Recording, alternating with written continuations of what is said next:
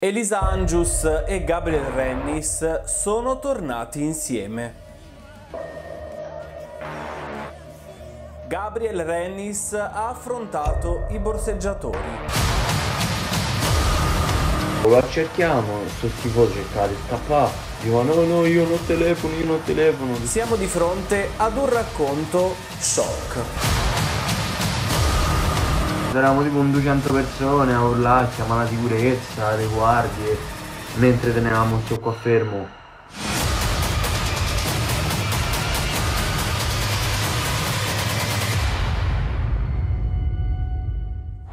Scappati di casa, io sono Fabrizio e Valerio è il mio cognome benvenuti in questo nuovo nuovissimo video dedicato al collegio numero 7. Elisa Angius e Gabriel Rennis sono tornati insieme. Sarà vero? Sarà falso? O sarà che non ce ne frega un cazzo? Prima di iniziare però come sempre vi ricordo se ancora non l'avete fatto di iscrivervi al mio canale, qui sotto trovate un tastino con scritto iscriviti e di fianco c'è anche una campanellina, cliccate anche quella per non perdervi tutto quanto, gossip, drama e le ultimissime sul collegio 7. Vi ricordo anche di seguirmi su Instagram dove mi trovate come Fabrizio Valerio ed ovviamente anche su TikTok dove sono sempre Fabrizio Valerio. Ed eccoci qua ragazzi, nuovo video dedicato al collegio numero 7, nuove notizie super super shock che vi devo raccontare. Come avete letto sicuramente dal titolo di oggi parleremo di Gabriel Rennis, Elisa Angius e questo presunto ritorno di fiamma, ma ci sarà spazio, ampissimo spazio, dedicato anche ad un, beh, come posso dire, ai borseggiatori della metro di Roma e poi, anzi, inizieremo esattamente con questa notizia, parleremo di un'amicizia finita. Ricorderete tutti quanti Vittoria Lazzari e Giada Scognamillo. Queste due ex collegiali hanno un po' discusso e avevamo parlato del loro dissing a distanza nelle stories di Instagram in un video che se ve lo siete persi ve lo lascio qui nella i di informazioni. Oggi torniamo a parlare di Vittoria e Giada perché ci sono delle novità. Novità che riguardano in realtà una diretta, una diretta che proprio Vittoria Lazzari ha fatto per chiarire una volta per tutte quello che sarebbe il beh, rapporto oramai finito al capolinea con Giada Scognamillo. Guardiamo insieme cosa ha detto Vittoria. Guardate.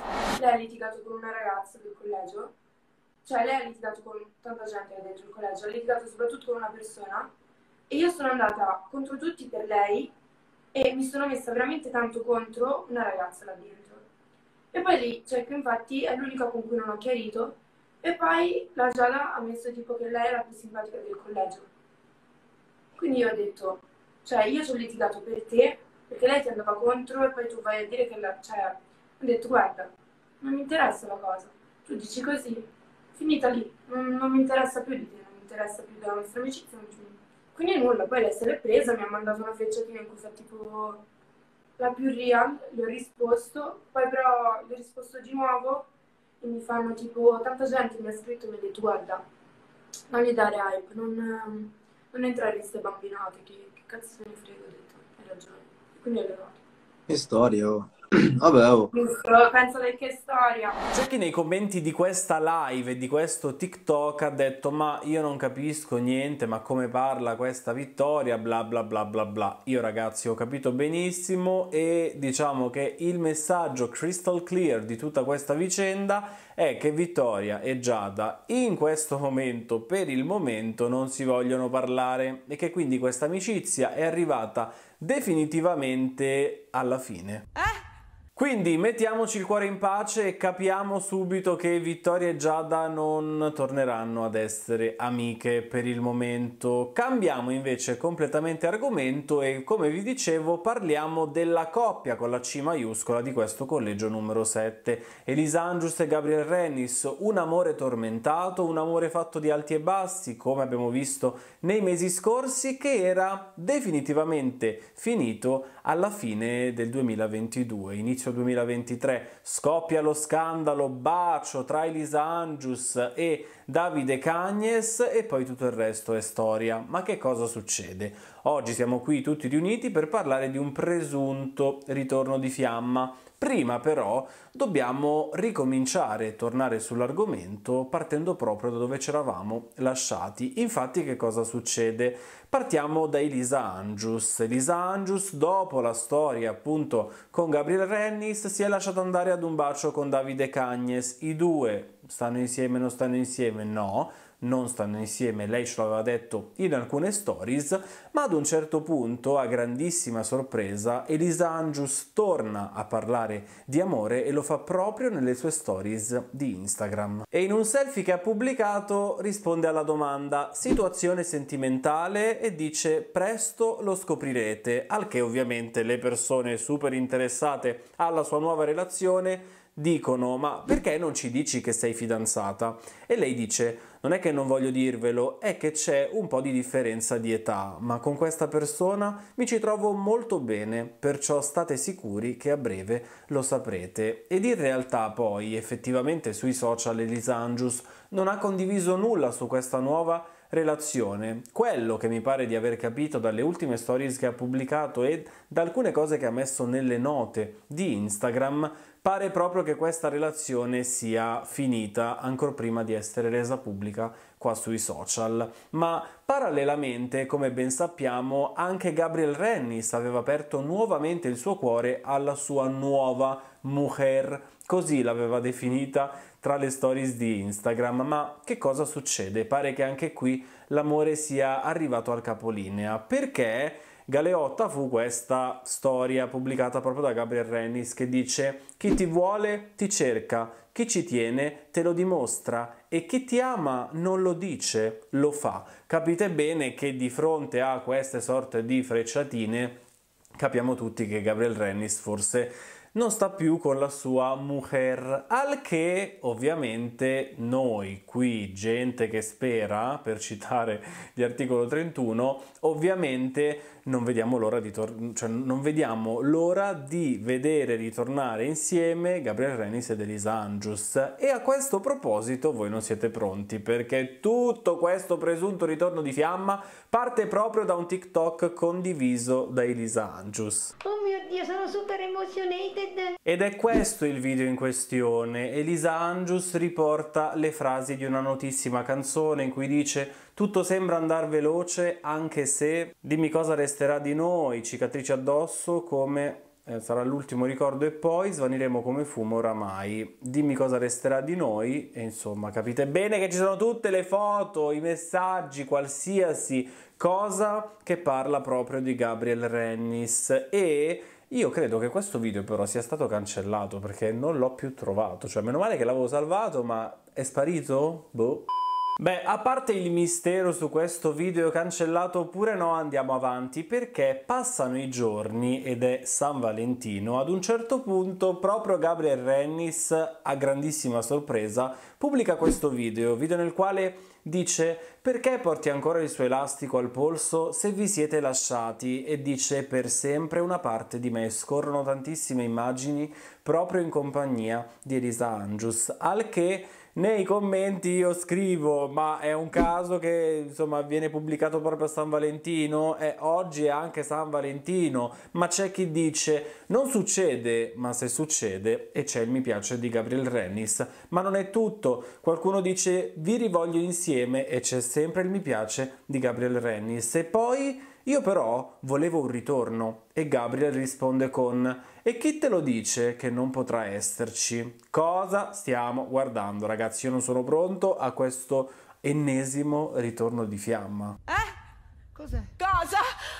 Questo però non è l'unico video di Gabriel Rennis dedicato alla sua ex fidanzata Elisa Angius. Infatti passa una settimana e Gabriel condivide questo video, video nel quale dice Gabriel perché spesso fissi il vuoto? E la risposta è molto molto semplice, scusate che abbasso ed è proprio lei, Elisa Angius. Quindi credo, non lo so ragazzi, ma il sottone in questione forse potrebbe essere proprio Gabriel e vuole tornare con Elisa Angius.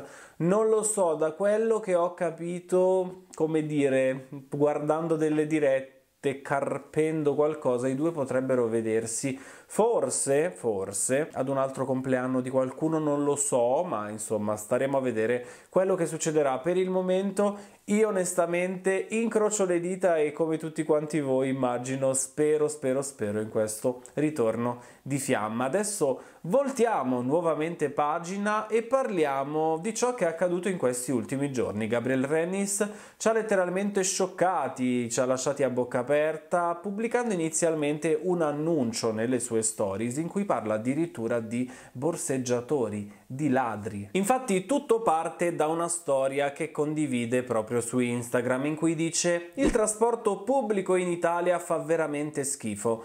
Oggi delle povere ragazze sono state derubate davanti anche ai miei occhi e il pronto intervento è andato a farsi fottere. Abbiamo dovuto mettere le cose a posto noi. Domani vi racconto tutto. Sono senza parole, così Passano le ore e il giorno seguente Gabriel Rennis ci racconta per filo e per segno cosa è successo, questo dramma avvenuto in metropolitana a Roma, dove delle ragazze sono state derubate di fronte ai suoi occhi, ma fortunatamente due suoi amici sono intervenuti tempestivamente contro i ladri in azione. Guardate. Ragazzi, buongiorno, io mi sono praticamente appena svegliato, come penso si veda, e ora voglio un attimo raccontarvi quello che è successo quel giorno lì della metro, due giorni fa.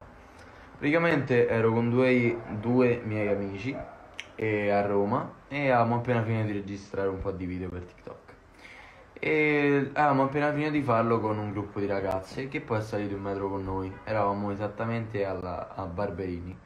In pratica cosa succede? Non schifoso, raga, i soliti borseggiatori che non posso vedere su qui mette i piedi sulla metro mezzo secondo e riscende subito. Era affollatissimo di gente, non si capiva nulla.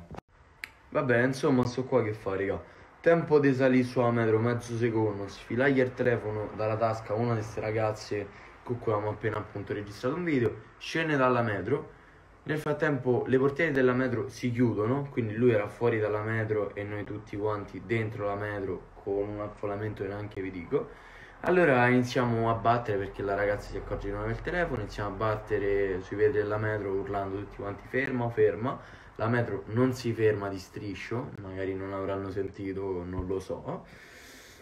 Allora i miei due amici hanno avuto il riflesso entrambi di abbassare la leva, quello là d'emergenza. La portiera si apre a metà, forzandola riusciamo a uscire. Questo mio amico che è alto praticamente 2 metri, 2 metri e 10, lo rincorre, lo acciuffa da dietro e ovviamente nel frattempo scende tutta quanta eh, la gente, la ciurma di gente che c'era sulla metro.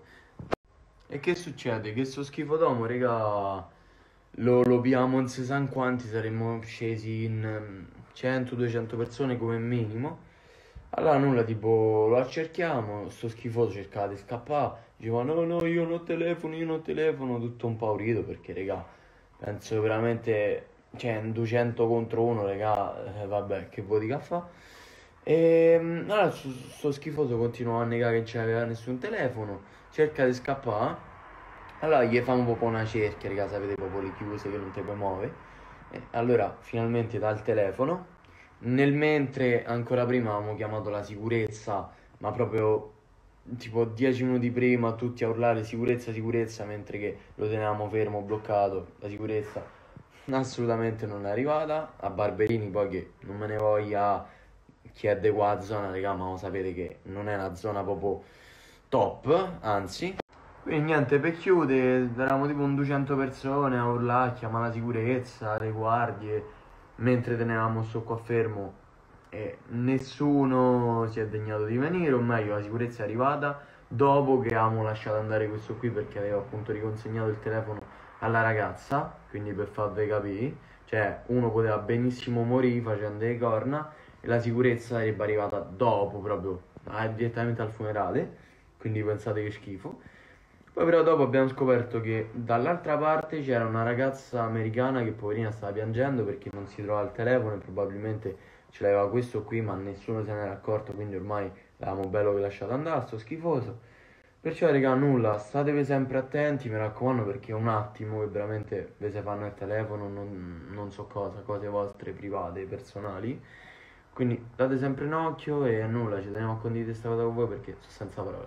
E devo dire che dopo questo racconto, beh, capiamo tutti quanti che le borseggiatrici, i borseggiatori non ci sono soltanto nella metropolitana di Milano. Per questo motivo occhi sempre bene aperti e state attenti alle vostre borse, portafogli, telefoni anche, perché mi è uscito qualche giorno fa su TikTok un video dove una ragazza disperata diceva di aver perso il telefono, o meglio, di essersi trovata senza telefono perché era stata derubata da eh, una persona che entrando in alcuni ristoranti, bar, eccetera, eccetera, con un foglio che mette sul tavolo ti ruba ciò che hai eh, appunto di fronte a te sul tavolo. In quel caso ha trovato il suo telefono. Quindi stiamo molto attenti, difendiamoci se possiamo, non sempre è la scelta giusta quella di intervenire in prima persona perché non si sa mai dall'altra parte chi c'è. Ricordate sempre che queste persone sono persone malintenzionate, malviventi e potrebbero avere dei coltelli, insomma delle armi da usare contro di voi. Quindi